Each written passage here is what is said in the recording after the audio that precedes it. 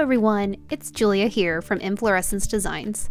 For today's tutorial, I am going to show you how to make your very own ice cream pint cozy. Now your hands won't get as cold if you're like me and eat straight from the pint. All supplies are listed in the description below. So let's begin. Start by printing out and assembling the ice cream pint cozy pattern. Then cut it out. Use SpraynBond pattern and stencil adhesive to help hold the pattern in place and trace the pattern onto the main and lining fabric pieces.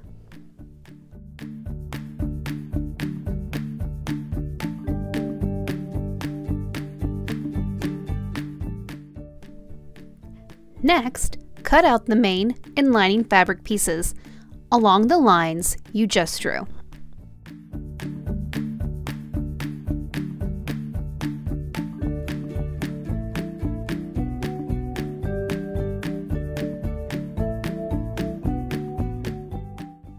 Next, fold the fusible fleece in half.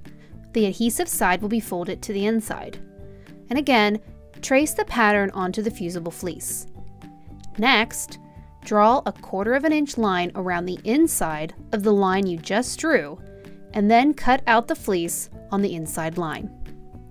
Since your fleece is folded, you should have two fusible fleece pieces cut out.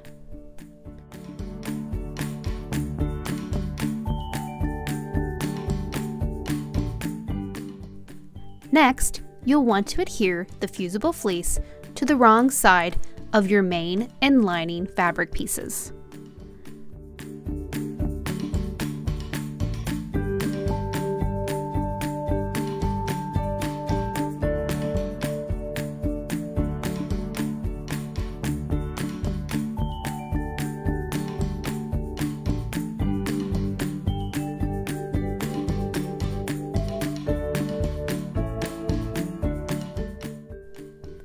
Now that the fusible fleece is adhered, we are going to add the liquid vinyl.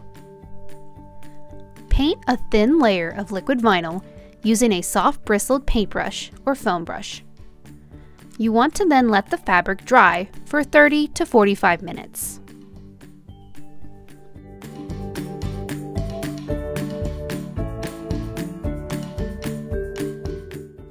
Preheat your iron to the medium heat setting with no steam.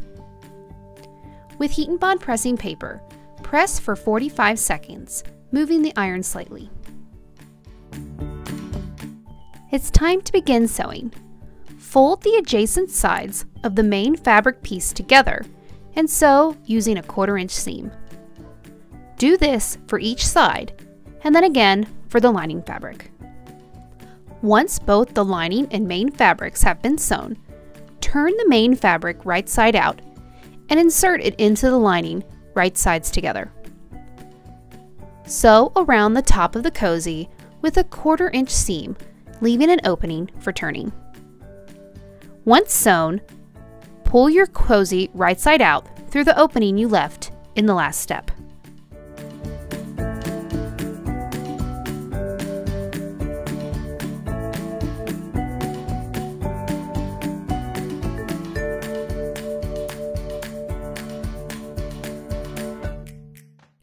Push the lining down into the main fabric to create your bowl shape.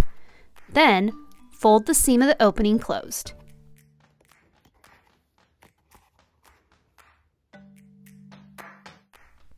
Cut out strips of the wash away stabilizer. This will help you top stitch around the top of the ice cream bowl cozy. You can try to sew without it using a non-stick foot, but from my experience, I prefer the washaway stabilizer.